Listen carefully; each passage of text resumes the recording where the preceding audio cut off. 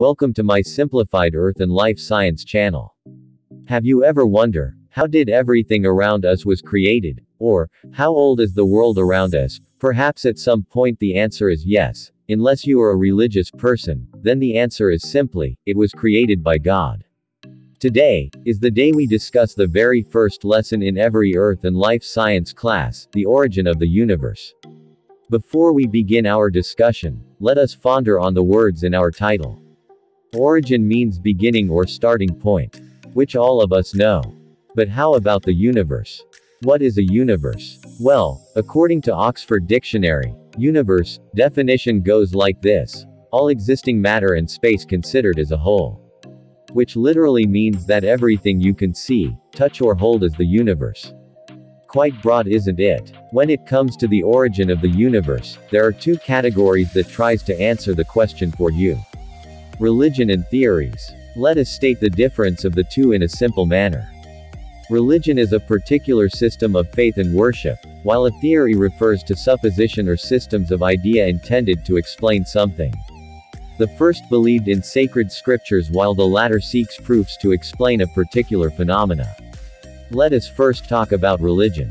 There are numerous religion around the world, Hinduism being the oldest, Judaism, Christianity and Islam being the largest to this day, just to name a few, believe that the universe was created by God.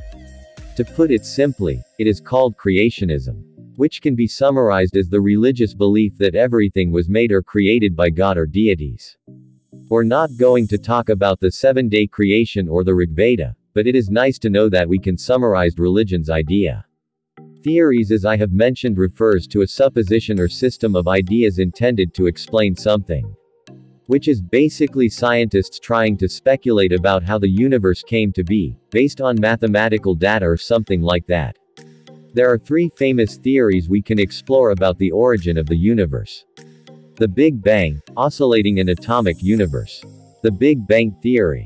Contrary to popular belief that the universe starts from nothing, then explodes, the Big Bang theory is actually the opposite. It is believed that the universe was 13.8 or so billion years old where space and time is not separate and considered as one. A single point appears, then expanded and stretched to grow as large as it is right now. It is still growing and expanding as you watch this video. Oscillating theory on the other hand suggests that the universe passes through successive cycles of expansion and contraction. You can think of it as a clay dough that you can stretch and compress for better understanding the context. And last but not the least, is the atomic universe theory. I believed it was created by Democritus, which also the same guy who expresses the idea that the earth is round. According to Democritus, the universe is made up of tiny atoms.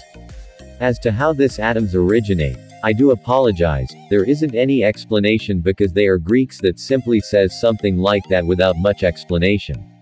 Do not be fooled though, because the atom models of the Greeks is not the same as the model of atom that we know to this day.